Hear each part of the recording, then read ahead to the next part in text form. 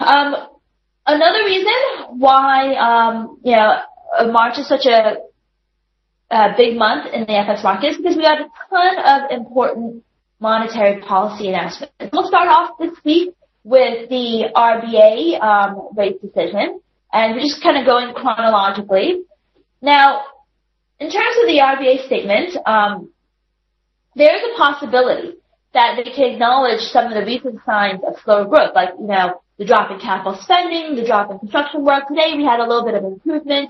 Um, having just shifted to a neutral stance at the previous meeting, um, if they were to disturb their kind of on hold steady rate stance by suggesting that, you know, there's been some signs of weakness, that would be um, terribly negative for the Australian dollar. This whole flip-flopping would um, erode the credibility of the RBA. Now, I think that given the improvements that we've seen in the um, the improvements that we've seen in the um, data this morning, there is probably a greater possibility of um, just the RBA um, making no new comments, you know, maintaining their um, steady stance. But if for whatever reason they do sound a little bit um, less optimistic, that would um, be extremely negative for the currency. Now, taking a look at the Aussie dollar itself, you can see that the Aussie dollar um, has uh, fallen. And for those of you not familiar, these are my double Bollinger Bands. You may have read about them. But um, Aussie's uh, trying to push itself into the sell zone, which is negative um, for the currency. This 88, this 89 level is very important. If it drops um, materially below 89, um, then there's no major support in the currency pair until 87 cents. But how it trades here will be key, and of course, most likely is going to hold this level going into the RBA rate decision. The um, whether or not um, it holds a breaks this level contingent upon the RBA rate decision. Um, another, what could have a larger impact on the Australian dollar could be um, China's annual National People's Congress, which begins this week. Um, it is a pretty big meeting, you know, only happens once a um, once a year, and it is in this meeting in which the um, Chinese government basically approves policies, laws, and the budget. For the financial markets, um, the focus will be on um, their growth target. So while it's a nine-day meeting on March 5th in the opening um, comments, Premier uh, Li will basically um, uh, share with the world their 2014 GDP targets. Right now, the market expects um, right now the market expects the Chinese government to maintain its 7.5% GDP target rate.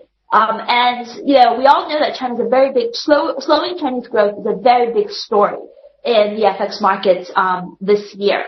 So, um, given that they're setting the growth target in March, you know, this could have implications globally as well, because if they, um, downplay, um, the 7.5% growth rate, it suggests that China, um, would not be troubled by slightly slower, slower growth that could probably accelerate the losses in the Australian and New Zealand dollar, for example, because it would suggest that China actually expects weaker growth than 7.5%.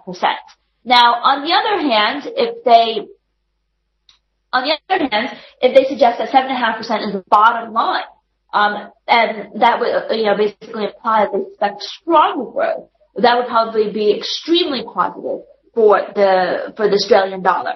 Now, the Chinese yuan is a pretty big deal. I mean, um, we've been watching this uh, uh, Chinese yuan rate for some time. I'm going to pull up the chart real quick. Uh, just give it one second to load. All right. So right now, this is a chart of dollar CNY. So what this chart shows tells you is obviously we had a huge rally in the U.S. dollar and, you know, therefore sell-off in the Chinese yuan. So a massive sell-off in the Chinese yuan. It's basically trading Chinese yuan is trading at its lowest levels since June. So you may know that China is supposed to maintain a relatively narrow trading band for its currency. And you may also know that most of the demand, most of the, um, that the Chinese yuan is supposed to be undervalued. So typically when you have a, the trading band, the currency kind of gradually moves, um, dollar CNY kind of gradually moves lower with Chinese yuan slowly appreciating. But this shows a rapid depreciation of the Chinese yuan. And when you have this type of magnitude of a move, the People's Bank of China is definitely involved. And it is clear that they're engineering kind of two-way volatility in the currency. Now, we've been watching this trade for some time, and we said that there would probably be a catch-up move of the Asian currencies, uh, particularly the Australian dollar, and we've seen that.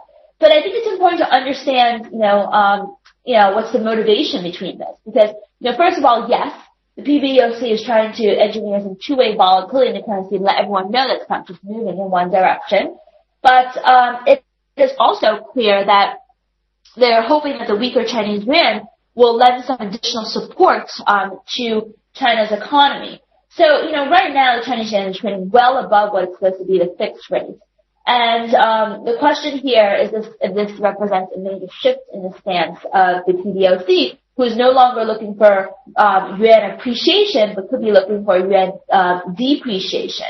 And you know, while that is certainly a possibility, I think that um, for the most part, you know, it seems like you know, for the time being, it seems like they're still trying to engineer two-way um, action. It's not as much of a risk, but keep an eye on this because the longer the CNY falls, the more pressure it will have on um, dollar yen as well as on the Aussie dollar.